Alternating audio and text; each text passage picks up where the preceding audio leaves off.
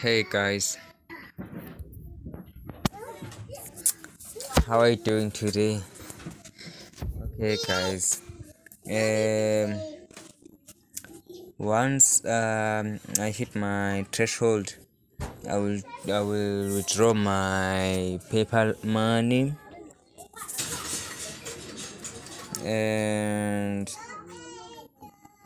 okay let me see. Okay now i have 4956.78 points. My target is 15000.500 once i hit the threshold i will withdraw my paypal account.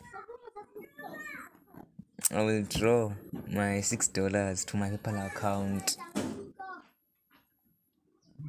you can see guys i only have um, about 11000 yeah 11000 left.